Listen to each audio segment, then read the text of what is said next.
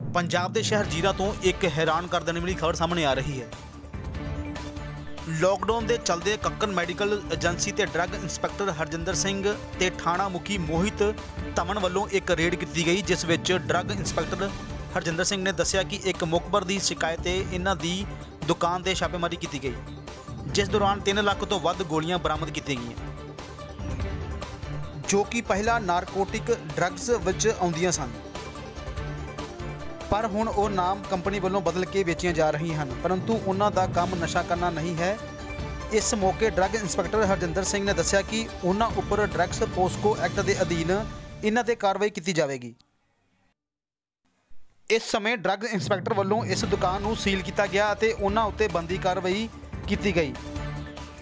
ਉਹਨਾਂ ਨੇ ਦੱਸਿਆ ਕਿ ਜੇਕਰ ਕੋਈ ਵੀ ਮੈਡੀਕਲ ਇਸ ਤਰ੍ਹਾਂ ਦਾ ਨਸ਼ੀਲੀਆਂ ਗੋਲੀਆਂ ਦੀ ਵਰਤੋਂ ਕਰੇਗਾ, ਵੇਚੇਗਾ, ਉਹਨਾਂ ਤੇ ਬੰਦੀ ਕਾਰਵਾਈ ਕੀਤੀ ਜਾਵੇਗੀ। ਇਸ ਮੌਕੇ ਤੇ ਇਹ ਗੱਲ ਦੱਸਣਯੋਗ ਹੈ ਕਿ ਇਸ ਤਰ੍ਹਾਂ ਦੇ ਕੰਮ ਕਰਨ ਵਾਲੇ ਵਿਕਰੇਤਾ ਬਾਜ ਕਿਉਂ ਨਹੀਂ ਆਉਂਦੇ? ਕਿ ਇਹਨਾਂ ਦੀ ਸਾਂਝ ਗਾਂਠ ਉੱਚ ਅਧਿਕਾਰੀਆਂ ਤੱਕ ਹੁੰਦੀ ਹੈ?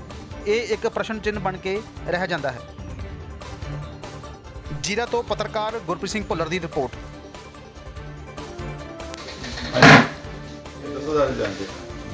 ਅੱਜ ਪੁਲਿਸ ਪ੍ਰਸ਼ਾਸਨ ਦੇ ਨਾਲ ਇੱਥੇ ਜੁਆਇੰਟ ਰੇਡ ਕੀਤੀ ਗਈ ਕੱਕੜ ਮੈਡੀਕਲ ਏਜੰਸੀ ਤਹਿਸੀਲ ਜੀਰਾ ਤੇ ਇਹਦੇ ਤੋਂ ਸਾਨੂੰ ਕੁਝ ਹੈਟੀਜ਼ੋਲਮ that's like habit forming drugs ਜਿਹੜੀਆਂ ਸੀਜ਼ ਕੀਤੀਆਂ ਗਈਆਂ, ਜੋ ਕਿ 2600 ਤੋਂ ਲੈ ਕੇ ਟੈਬਲੇਟ ਸੀ। ਉਸ ਤੋਂ ਬਾਅਦ ਜਿਹੜੀ ਇਹਦੀ ਇੰਚਾਰਜ ਸੀ ਨੀਰੂ ਕੱਕੜ ਉਸਨੇ ਡਿਸਕਲੋਜ਼ ਕੀਤਾ ਕਿ ਉਹਦਾ ਇੱਕ ਅਨਦਰ ਸ਼ਾਪ ਇੱਕ ਗਡਾਊਨ ਹੈ, ਜਿਹੜਾ ਅਨਲਾਈਸੈਂਸਡ ਆ ਜਦੋਂ ਚੈੱਕ ਚੈੱਕ ਕੀਤਾ। ਉਹਦੇ ਵਿੱਚੋਂ 10 ਤਰ੍ਹਾਂ ਦੀਆਂ ਜਿਹੜੀਆਂ ਡਿਫਰੈਂਟ ਟਾਈਪਸ ਇਹ 8 ਤਰ੍ਹਾਂ ਦੀਆਂ ਸੌਰੀ 8 ਤਰ੍ਹਾਂ ਦੀਆਂ ਜਿਹੜੀਆਂ ਦਵਾਈਆਂ ਪਾਈਆਂ ਗਈਆਂ।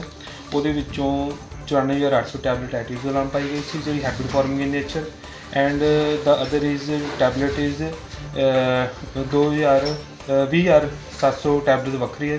ਤੇ ਟੋਟਲ ਟੈਬਲੇਟ 3 ਲੱਖ 1900 ਦੇ ਲਾਗੇ ਟੈਬਲੇਟ ਜਿਹੜੀ ਰਿਕਵਰ ਕੀਤੀ ਗਈ ਹੈ ਤੇ 100 ਸੇ ਰੁਪਏ ਰਿਕਵਰ ਕੀਤੇ ਸਰ ਇਹ ਜਿਹੜੀ ਟੈਬਲੇਟਸ ਆ ਇਹ ਨਸ਼ਾ ਯੂ ਵਰਤ ਵਾਸਤੇ ਵਰਤੀ ਜਾ ਰਹੀ ਹੈ ਨਹੀਂ?